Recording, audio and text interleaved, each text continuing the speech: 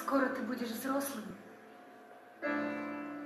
больше станешь и шире. Звезды бывают тоже маленькие и большие. Те, что поближе, близкие. Те, что подальше, дальними.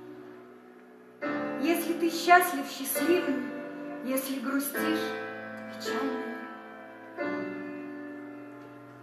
Звезды бывают крупными, в южных широтах яркими, спелыми, будто яблоки, те, что сбивают палками, а иногда тусклыми точечками осинными.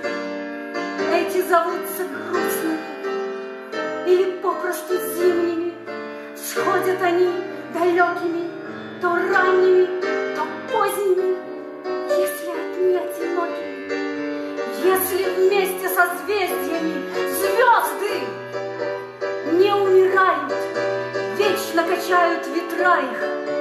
Если нет звезд на небе, значит, ищи их в травах.